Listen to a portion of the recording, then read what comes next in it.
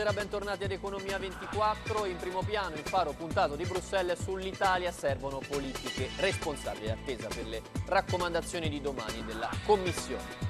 E l'Istat intanto conferma per il 2018 le stime del PIL all'1,4%, ma il caro petrolio e il rallentamento dell'economia globale mettono a rischio la crescita.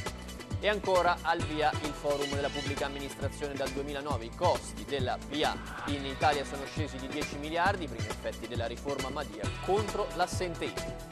Ed infine aperto a Roma il Festival Italiano dello Sviluppo Sostenibile, Agenda 2030 sia la bussola per il nuovo governo, chiede il portavoce Enrico Giovannini. Vari eventi al via a Roma oggi. Partiamo dal forum eh, PA 2018. Il lavoro dei dipendenti pubblici si stima costa ad ogni italiano 2.632 euro, meno sia rispetto alla Francia che alla Germania. Invece per le assenze per malattia si registrano i primi cali dopo anni di crescita. Vediamo con eh, Celia Guimaraes. Bisogna affrontare le sfide del futuro con una pubblica amministrazione al passo con i tempi e per farlo un possibile modello è governare con la rete, come proposto da Stephen Goldsmith, vice sindaco di New York nella Bloomberg, massimo esperto in materia e ospite d'onore del forum PA. Parliamo di come i nuovi strumenti tecnologici possono aprire una nuova era di rivoluzione da parte della pubblica amministrazione e di come possono collaborare meglio, come si possono usare i dati per risolvere problemi prima che accadano, come possono portare ad agire più velocemente. Abbiamo una rivoluzione tecnologica in corso.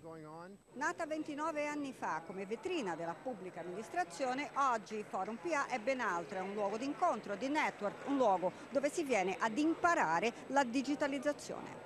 L'Italia deve fare di più per la pubblica amministrazione rinnovata e aperta alla trasformazione digitale. Va reso efficiente un servizio che costa a ciascun italiano 2.632 euro l'anno. L'innovazione digitale è molto importante. È chiaro che se il costo dell'innovazione digitale è licenziare eh, tutti i dipendenti pubblici o peggio non supportare i dipendenti pubblici con formazione, con eh, formazione continua per rendere eh, utile è possibile l'utilizzo di questa innovazione, è chiaro che l'innovazione non si produce mai. Dalla riforma della PA comunque arrivano buoni segnali, per esempio la cosiddetta linea dura ha ridotto del 10% l'assenteismo. Per eliminare l'assenteismo la cosa più importante è quella di creare un posto di lavoro che dia a chi ci lavora la soddisfazione di fare qualcosa di veramente utile. La pubblica amministrazione italiana resta anziana, sono 3 milioni 200 mila dipendenti pubblici dall'età media di 50 anni, spesso poco qualificati e ben 314 mila i e precário.